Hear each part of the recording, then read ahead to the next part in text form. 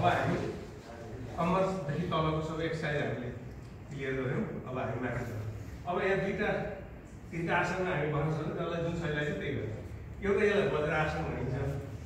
त्यो आसनमा धेरै बेर बस्न सकिन्छ यो आसन अनि किन यसमा बस्न सकिन्न भने यो सुखा आसन चाहिँ फलिदिएको यो सधैँ छ। होइन अब सिद्धहरूले त आफ्नो पद्मासनै यसरी यो दुइटै गोडालाई यसरी माथि ल्याएर यसलाई पनि यसलाई पनि यसरी माथि ल्याएर पद्मासन यस्तो पसिन चाहिँ खोज्दिनै खोज्दैन कि यो सिद्धान्त यसमा त यसरी जुरुक्क उठेर यस्तो गर्न सकिन्छ यो चाहिँ होइन?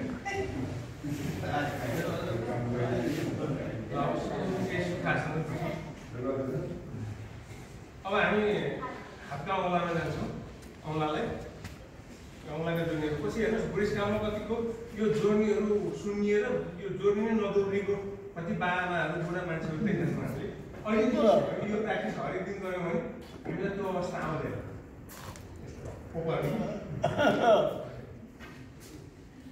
अनि फेरि यसरी अब हामी यो हर्केलालाई यसको जोइन्टको पन्जाको जोइन्टमा हामी यसलाई कुकुरो भन्नुपर्छ।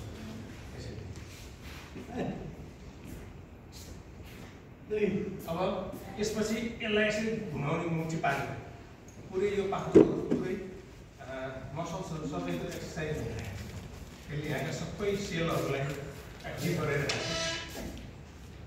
अनि फेरि यसलाई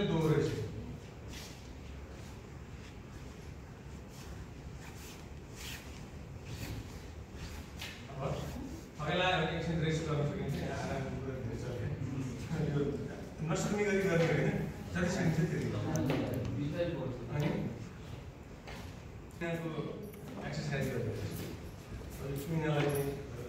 लक्षण बनाउने गर्दैछ।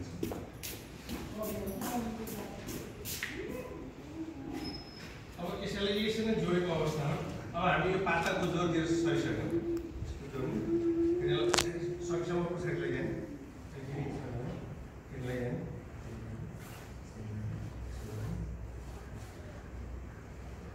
यो कम्प्युटरमा धेरै काम गर्ने लेख्न धेरै पढ्ने अफिसमा काम गर्नेहरूका लागि पनि अनि अरू चाहिँ हातले धेरै काम गर्नुपर्नेहरूका लागि पनि यो एकदमै राम्रो अब यसो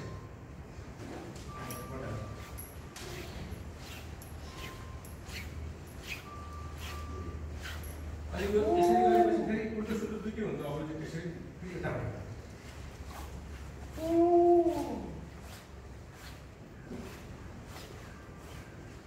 अब त्यसरी यो दुईवटा कुइनालाई यसरी समात्ने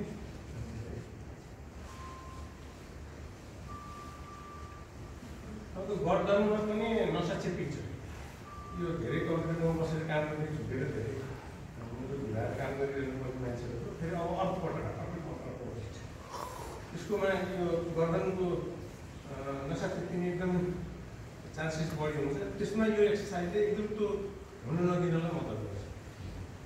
अब यसलाई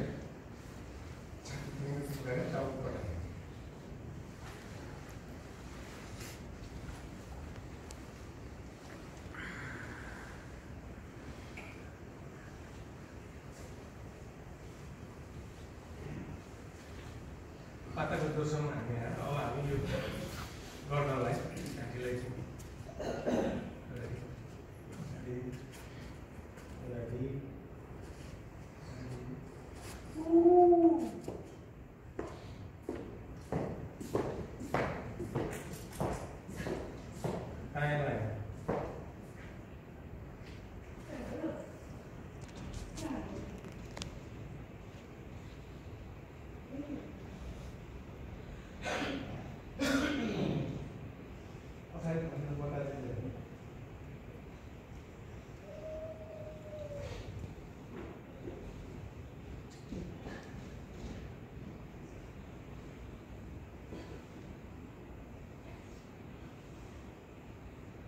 यसरी यसरी घुमाउनु पर्यो।